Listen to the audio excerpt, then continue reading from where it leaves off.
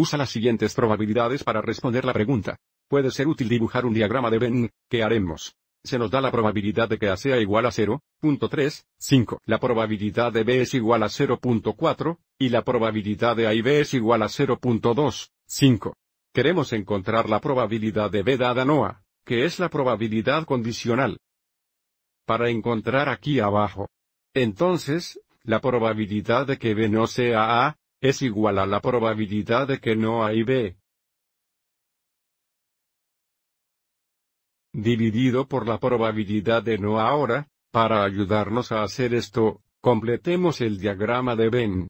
Comenzaremos con la intersección de A y B. Observe que la probabilidad de A y B es igual a 0.2, 5. Entonces la probabilidad de estar en esta región aquí es 0.2, 5.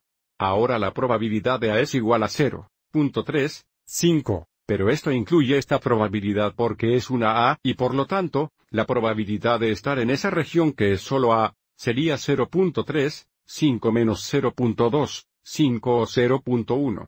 Y luego porque la probabilidad de B es igual a 0.4, que nuevamente incluye esta probabilidad.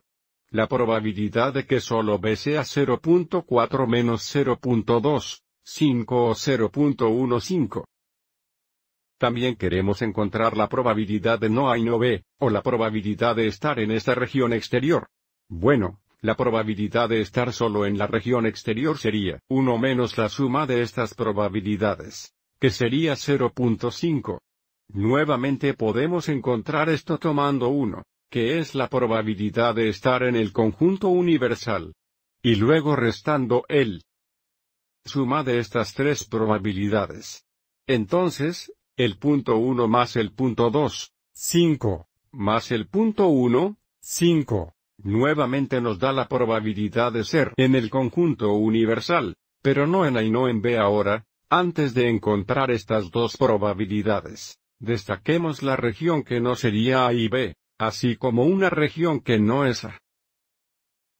La región que no está en A, y en B tendría que ser la región aquí que solo está en B. Nuevamente, esta es la región que no está en A, y también en B y luego la región que no está en A. ¿Sería toda la región que está fuera del conjunto A? ¿Cuál sería toda esta región aquí? Entonces, la probabilidad de no A y B es la probabilidad de estar solo en B, que es 0.15 dividido por la probabilidad de no Para encontrar esa probabilidad encontraríamos la suma de estas dos probabilidades, o una menos la suma de estas dos probabilidades. Observe 0.5 más 0.1, 5 es 0.6, 5. Observe cómo encontrar la probabilidad de B, dado que no A encontramos la probabilidad de la región deseada que es solo B, y luego dividido por la probabilidad de la región total dada y NOA, que es la probabilidad 0.6, 5. Y ahora aplicaremos esta probabilidad como una fracción simplificada, así como un decimal y porcentaje.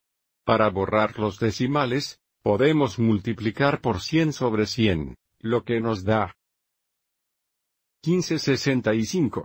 Pero ahora tenemos un factor común de 5, dividiendo el numerador y el denominador entre 5. Nuestra probabilidad simplificada como fracción es 313. Convirtamos también a un decimal y porcentaje. Para convertir un decimal dividimos 3 dividido por 13.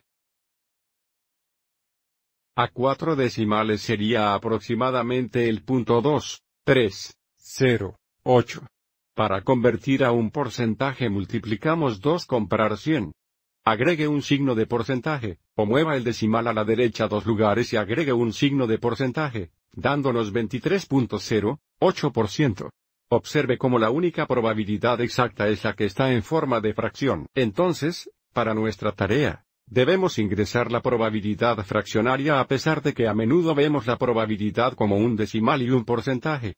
Pero aquí noten cómo son aproximaciones porque hicimos ronda espero que hayas encontrado esto útil.